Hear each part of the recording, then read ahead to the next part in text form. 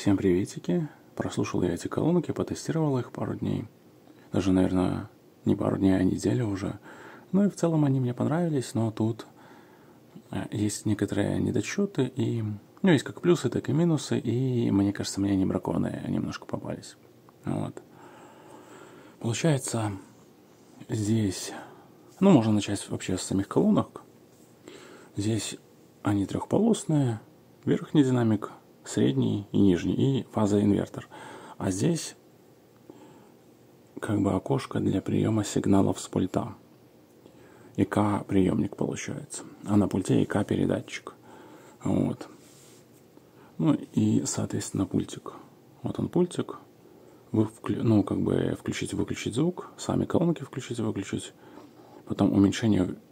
Здесь две кнопки уменьшения громкости, это здесь увеличение.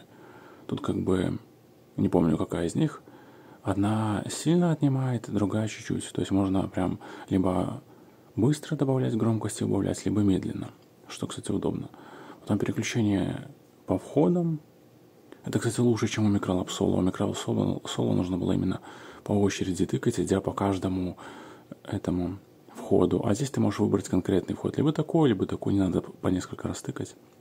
И, кстати, еще можно выбирать вот здесь нажимая на вот эту кнопку. Тогда нужно реально тыкать, потому что получается, вот нажимаешь, и идет переключение. Сейчас могу в сеть подключить, показать. Ну вот, получается, горит зеленым первый вход. Нажимаем второй вход, вот оно помигало второй вход, потом это у нас, по-моему, оптика красная и оранжево коаксиальный. Потом Bluetooth, и потом дальше обратно первый вход. То есть в микролапсол так было, все по очереди, здесь нет. Но если на кнопке, то да, а на пульте можешь сразу выбрать нужный тебе вход. Вот. Здесь, собственно, и подписано, какая очередность идет. Вот. Потом громкость регулируется, но здесь минус в том, что у громкости нет индикатора. У меня Corolab 9C был индикаторчик, и ты видишь, сколько процентов громкости, а здесь ты не видишь. То есть вот сколько сейчас, я не знаю. И я, получается, определил как. Считал повороты, потому что, получается, если когда поворачиваешь, о, он такой вот видно палец перескакивает. И оно чувствуется, скачки такие. Я вот насчитал таких скачков, ну, так крутил, пока громкость не перестала расти. И насчитал 50, 50, ну, как бы ступеней, ступеней громкости. И вот получается, ты вот накрутил максимум, это получается 50, а потом считай, считай 1, 2, 3, то есть ты хочешь делать там чуть поменьше, ну вот отсчитывай 10 штук, например, или 5. Короче, блин, это так неудобно, прям максимально. Но оно помнит громкость, то есть если какую-то громкость подобрать и на ней ставить, оно всегда будет на ней играть. Но просто если регулировать, ну ты не знаешь, сколько тебе нужно реально считать. То есть, если ты помнишь, что ты оставил на 40, допустим, а хочешь сделать там 45, нужно 5, посчитать 5 вот этих вот прыжков регулятора. Короче, блин, это так неудобно. Вот, потом это уже басы, и бас вот на середине, слышно так вот, как бы стопится, он так уже не хочет идти, но когда вышел оттуда, уже идет плавненько, легко, потом доходит до середины, потом оп, так типа защелкнулось, и дальше плавненько идет. Вот, вверх и вниз. И у нас есть плюс 4 и минус, или сколько там, А, плюс 6. Плюс и минус 6. Ну вот. И так вот регулируется. Ну и как бы да. Такие регулировки вверх и низ как бы. Сзади, сзади у нас подключение идет вот. Две линии.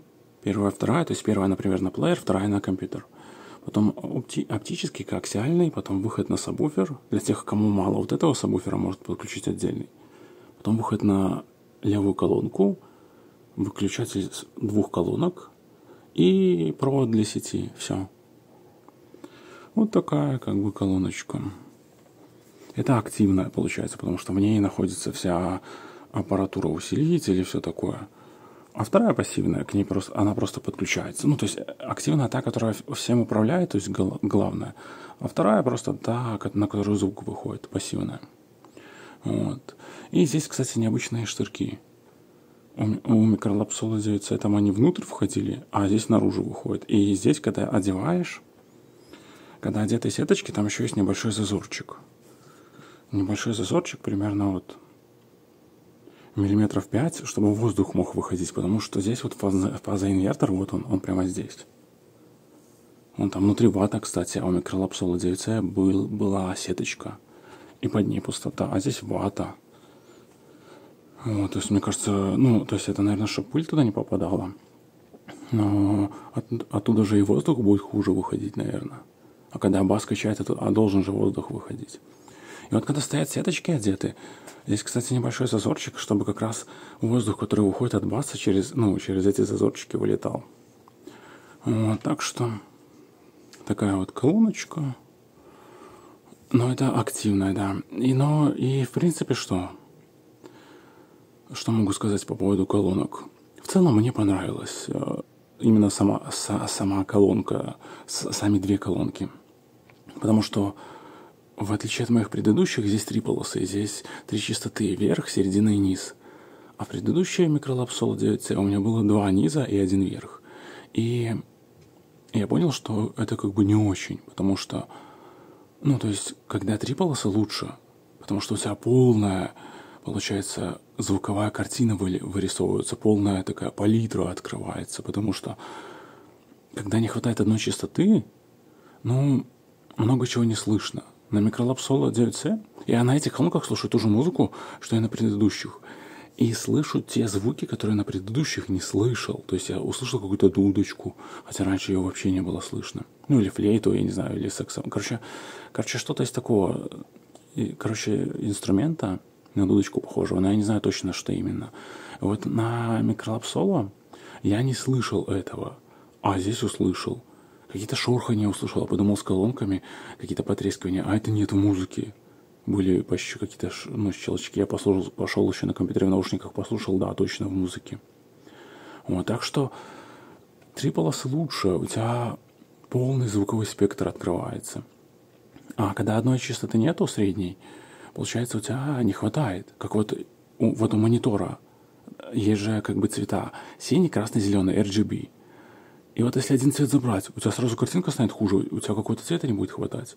Так и тут. Забери один динамик, и уже звук не тот, ничего-то не хватает. Поэтому, как я понял, для себя лично, что три полосы лучше, чем две. Плюс ты можешь настроить их максимально. Здесь можно на колонках бас в, в ноль или на максимум сделать, и в плеере в ноль или на максимум. И тогда, короче, ты можешь настроить так, как тебе нужно. То есть, получается, ты либо можешь сделать максимально бас, либо вообще убрать бас. А на микролапсолу 9, 9C нельзя этого сделать. Ты хоть бас и на колонках убираешь, и в плеере убираешь, все равно подбухивает, потому что получается голос, который сейчас идет отсюда, из этих колонок, там выходит из вот этих динамиков э, низкочастотных. И хоть ты убираешь басы, голос-то все равно выходит. То, что для голоса нету отдельного среднего динамика.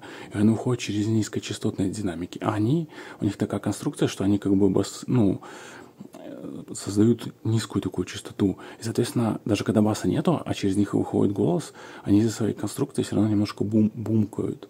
И вот это мне не нравилось. То, что когда убираешь бас, и на колонках, и в плеере все равно немножко бумкает. А здесь можно реально сделать так, чтобы вообще не бумкало. И это мне нравится. То есть ты, во-первых, слышишь полностью весь звук на всех частотах, во-вторых, можешь настроить так, как тебе надо. Вот. И мне это нравится. Удобненько, кстати. Вот. Потом получается, что провод на вторую колонку где-то длиной 5 метров, и здесь специальный такой провод, то есть свой не подключишь. Ну и, соответственно, дальше, чем вот этот провод, ты их не раздвинешь. То есть только 5 метров и все. Вот, ну и такая вот, да. Ну, оно, наверное, в таких колонках во всех таких микролабах тоже был специальный провод, и то есть свой... То есть нельзя так сделать, что ты подсоединишь свой провод, раскинешь их там на километры. Нет, здесь как бы... Хотя и не надо. На, на, на дом, на квартиру хватает. Вот. Потом, что еще? инструкция. Я вот в прошлый раз в распаковке не показал. Здесь у нас что? В инструкции. Здесь у нас показывается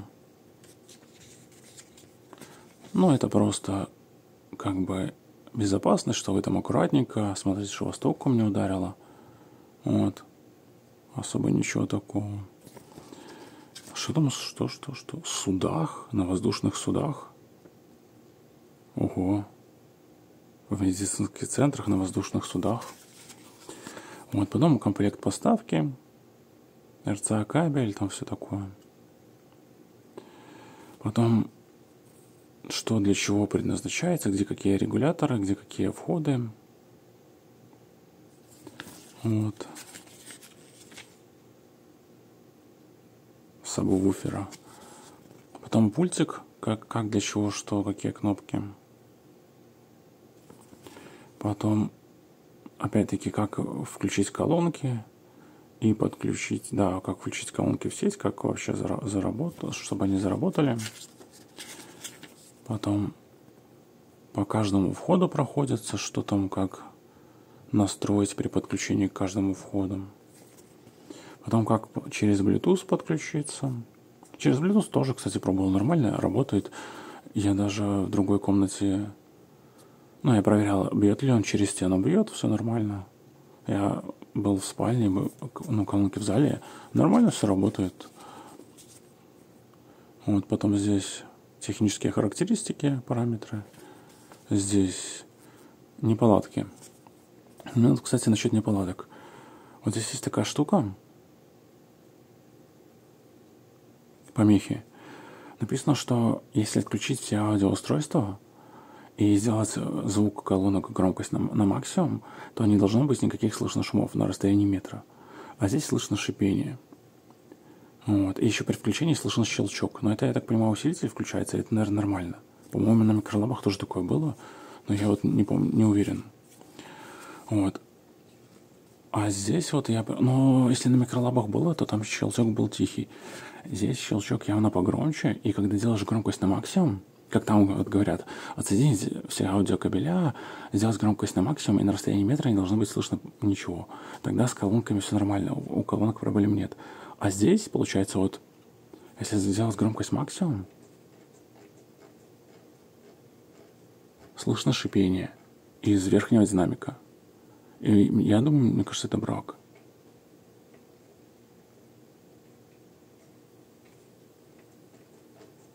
Не знаю, вам слышно, могу сейчас вот пододвинуть.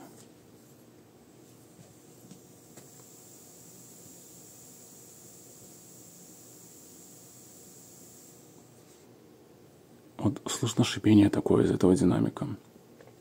Вот, мне кажется, это брак. Ну, в общем-то, здесь как бы три проблемы, что мне не нравится. То есть в целом мне колонки нравятся.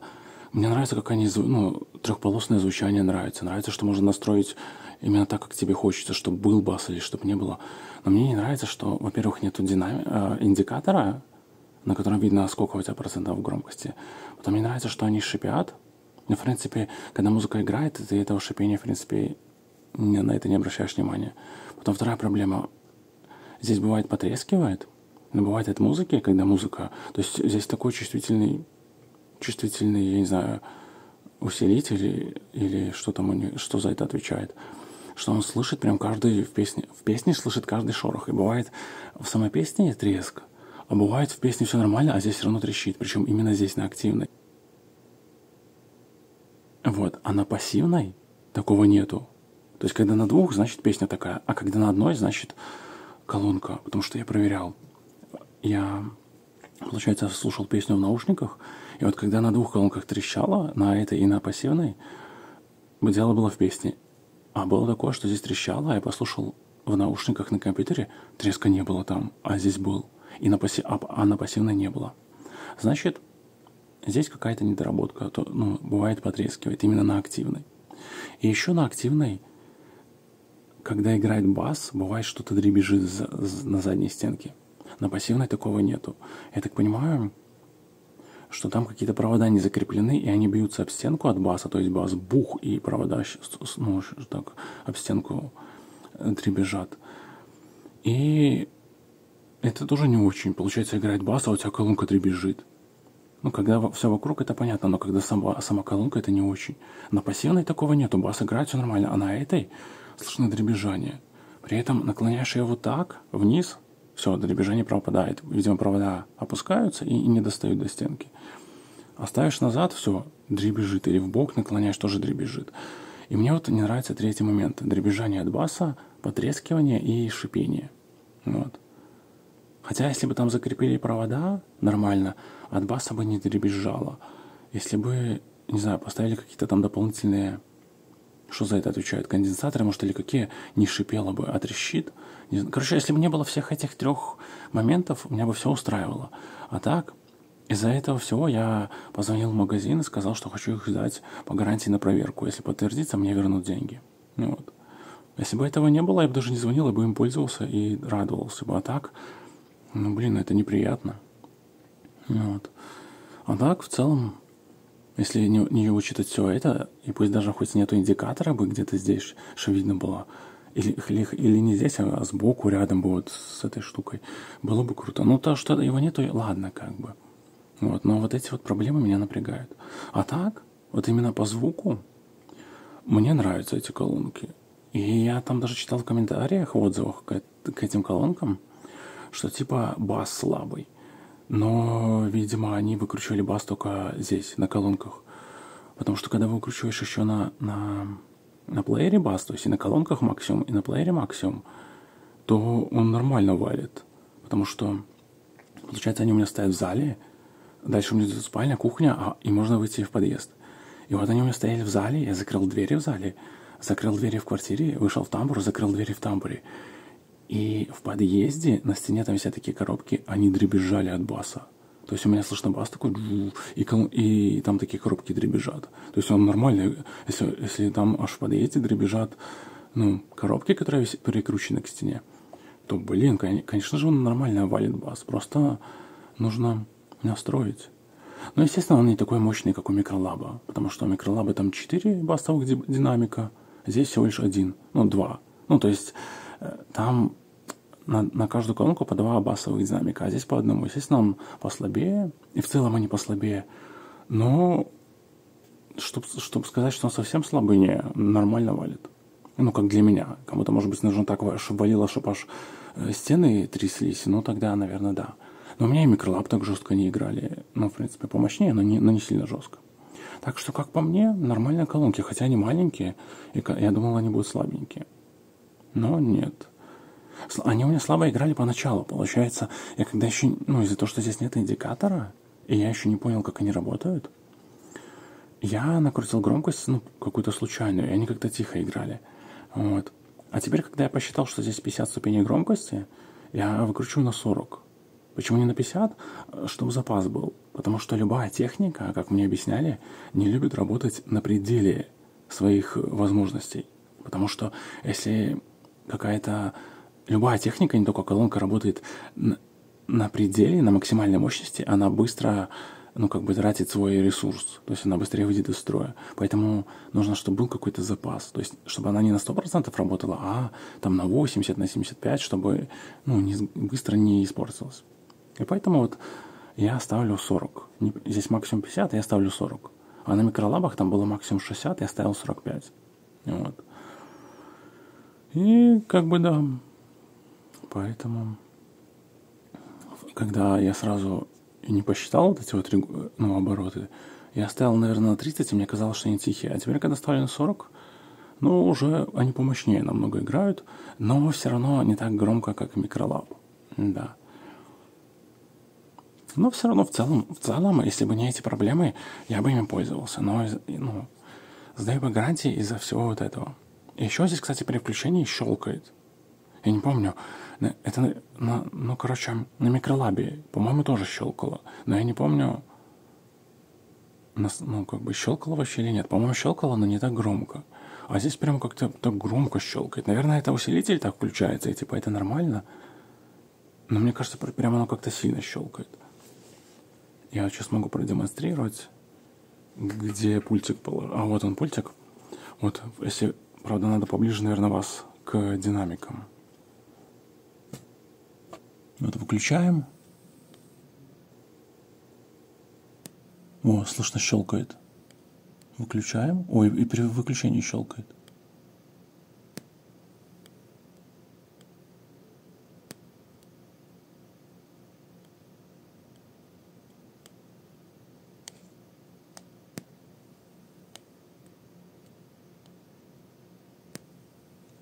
Короче, слышны щелчки при выключении тихий. Наверное, микролап, микролап так включался, как здесь выключается. Микролап выключался вообще без щелчка, а включался, наверное, с тихим, что я на него даже внимания не обращал. А здесь выключается с тихим щелчком, а включается с громким. Вот, и это напрягает как бы. Хотя, наверное, это нормально. Типа, здесь такой усилитель. Короче, да, Edifier делается в Китае для, ну, как такое, бюджет, видимо, что такое, вроде как бюджетное, наверное, что-то. А микролап это уже посерьезнее, делается уже, не знаю, где делается, но уже для рынка более другого, типа европейского и все такое. А этот делается. Ай, для кого попало. Короче, блин. Микролап, конечно, посерьезнее, наверное, будет техника, чем вот это. Вот, так что... Ну, в целом, в целом нормально. Включать их, я думаю, нет смысла, потому что, во-первых, микрофон на телефоне вообще не пишет бас от слова совсем. Соответственно, вы не услышите бас. То есть вы будете видеть, эта здесь штука скачет, но не услышите ее.